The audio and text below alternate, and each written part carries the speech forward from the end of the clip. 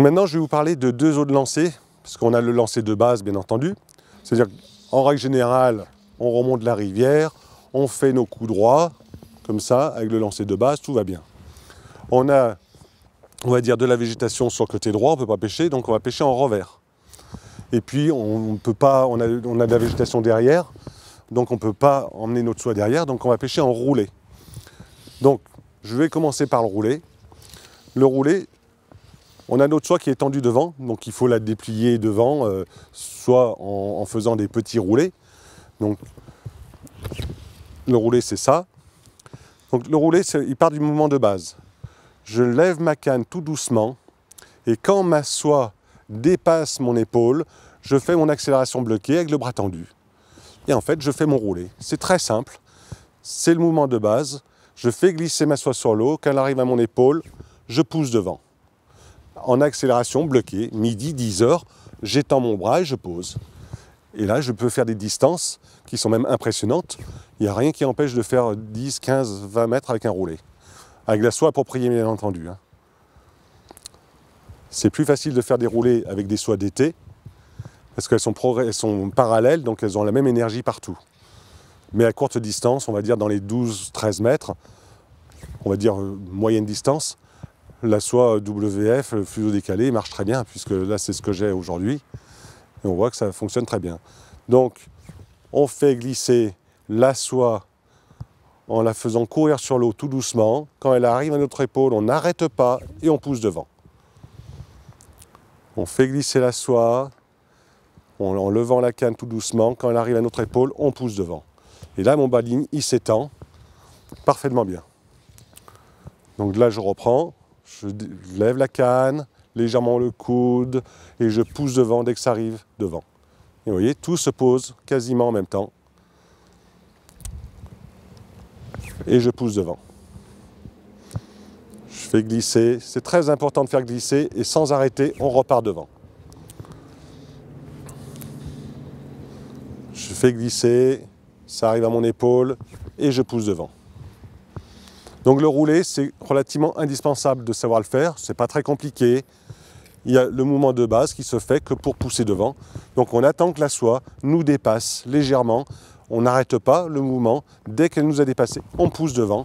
Donc avec le bras bien tendu, en accélération midi 10 heures et on pousse devant. Je fais glisser la soie sur l'eau.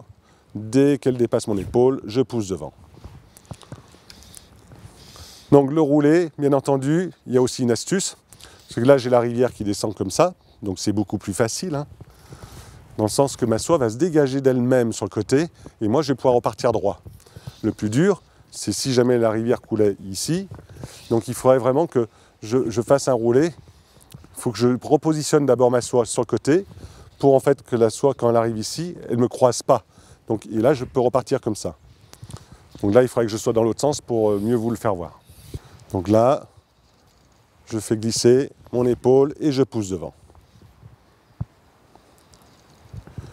Et je pousse devant. Donc là maintenant, on va voir le revers. J'ai de la végétation sur toute cette partie de la rivière, donc je ne peux pas pêcher. J'ai des poissons qui sont en train de gober sur le côté. J'ai des arbres au-dessus, donc c'est impossible de, faire passer la soie. Donc là, je vais passer sur le côté. Je vais faire un revers. J'accélère, je bloque, j'accélère, je bloque, pareil. En fait, c'est le mouvement le plus naturel pour débuter même à la pêche à la mouche.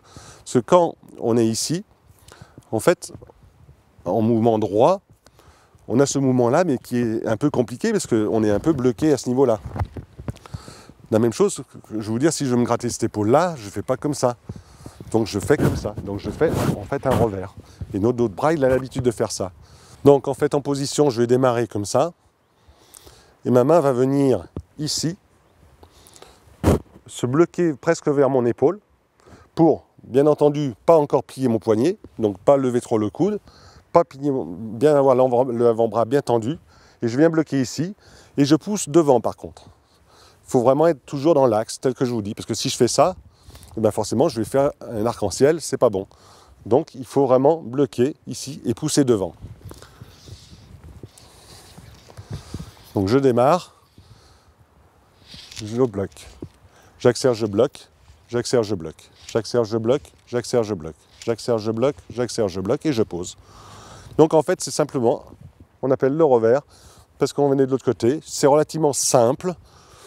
Bon, il faut vraiment pas plier ce poignet, parce que si je plie le poignet, je vais faire la même chose qu'on va voir tout à l'heure. Donc en fait, je vais ouvrir un arc-en-ciel et en fait, je vais faire claquer devant et derrière. Et là, c'est pas bon. Donc vraiment, je bloque, je bloque, je bloque, je bloque, je bloque, je bloque et je pose. Donc c'est un entraînement. Une fois qu'on a bien compris la base, ça va aller très vite pour faire le revers. Donc maintenant que j'ai abordé, on va dire, les phases importantes pour pouvoir débuter la pêche à la mouche, on a bien compris euh, l'énergie d'une soie, l'importance d'une canne, tout ça, ça une influence pour pouvoir bien poser une mouche. Donc le plus important à la pêche à la mouche, c'est de séduire les poissons. On va parler aujourd'hui que de la pêche en sèche. Donc de poser une mouche sur l'eau pour qu'elle puisse dériver comme il faut et que le poisson puisse euh, la prendre. Donc là-dessus, le, le, plus important, c'est le poser. Donc on a tout le mouvement, bien entendu, qui est là pour propulser. Donc le, mieux possible, bien entendu, pour avoir l'énergie. Et après, c'est de poser délicatement une mouche sur l'eau. Donc bien entendu, pour faire le poser, tel que je vous l'ai dit tout à l'heure, je vais un peu insister maintenant, c'est on a 10h midi, 10h midi, d'accord? Midi, 10h, je bloque et je pose. En fait, mon blocage à 10h est très important pour pouvoir bloquer et poser. En fait, j'offre la mouche tout doucement à la surface de l'eau sans aller la plaquer. Si je descendais trop tout de suite, je le plaque, je plaque. Donc en fait, je bloque à 10h, et j'avance mon bras, je présente un peu mieux la mouche, ce qui la détend un petit peu, il la pose et va pouvoir dériver comme il faut. Donc très important, on accélère, on bloque, on accélère, on bloque. À 10 heures, on bloque, on pose. Et tout ça, ça va permettre d'étendre le bas de ligne, voire de faire revenir un tout petit peu la mouche et de la poser quasiment l'idéal en même temps que la soie. Voilà. Donc j'accélère, je bloque. À 10 heures, je bloque et j'avance mon bras. Et vous voyez, là, ça pose, ça dérive parfaitement bien. Vous voyez, tout se pose en même temps, tout se pose bien tendu. Là, c'est le lancer de base avec un posé parfait. Donc là, vous pouvez prendre des poissons sans aucun problème. Maintenant, puisqu'on est sur le posé, je vais en profiter pour vous faire voir différents posés. C'est-à-dire que là, j'ai le posé tout simplement droit, le plus droit possible. Là, c'est bien. Maintenant, j'ai un courant qui vient comme ça, j'ai des fois un peu de courant, j'ai besoin de décaler, de monter ma soie un peu plus haut. Donc, en fait, dans ce même mouvement, comme ça, je suis à 10h midi toujours. À 10h, à 10h quand je vais bloquer, je vais faire un blocage et je vais décaler ma soie sur le côté. Mais qu'une fois que j'ai fait mon blocage, je bloque à 10h et je décale ma soie sur le côté. Regardez bien mon bras. Je bloque, j'étends et en même temps je décolle. Donc en fait, ça me permet de faire dériver beaucoup plus longtemps ma mouche, de, des fois d'éviter un obstacle. Donc je peux le faire aussi bien à gauche, comme ça, que à droite si j'avais le courant dans l'autre sens. Comme ça.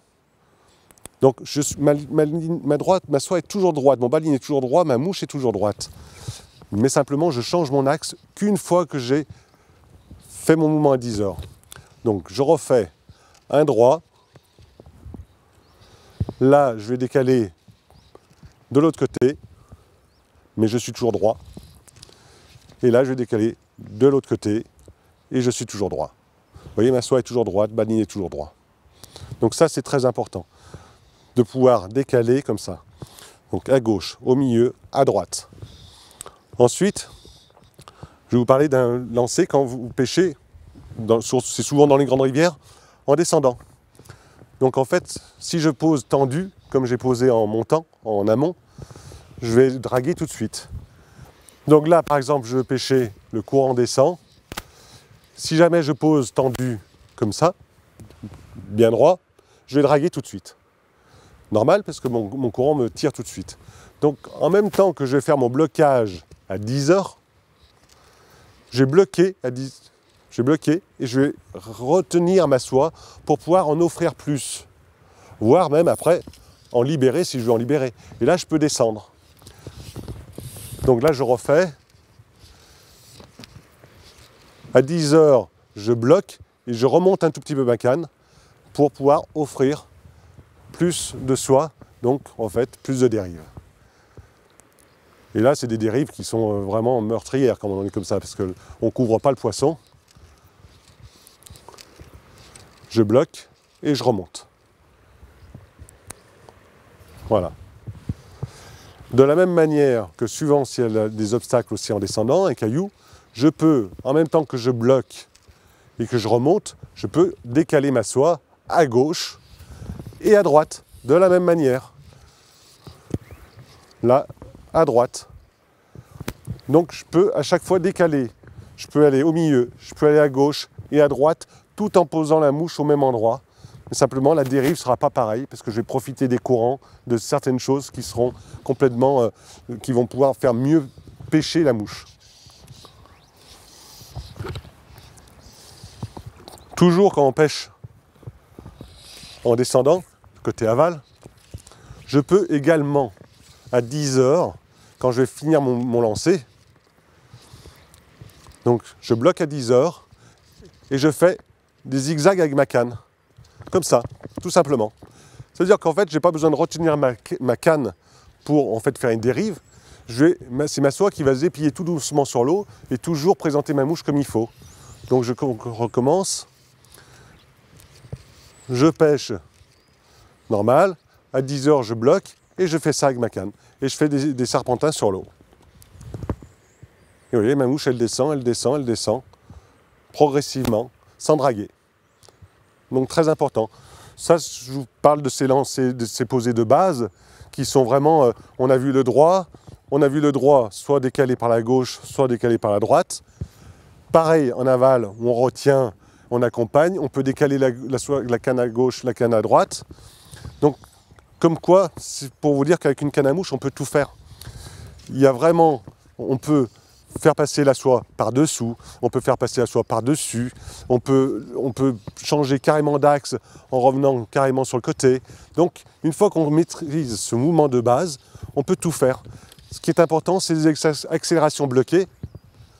On bloque, on présente, on peut passer par-dessous, on peut se coucher sur le côté c'est pareil pour passer sous les arbres, mais c'est toujours le même mouvement. Vous voyez, là je ne change pas et je change simplement mes axes. Et en fait, c'est important de maîtriser ce mouvement de base. Donc vraiment, je vous conseille de bien vous entraîner. Ça va vous donner énormément de plaisir pour pêcher. Faire des, choses très précises quand on doit vraiment être à ras des cailloux. Ça, ça, va vraiment vous, vous donner beaucoup de satisfaction.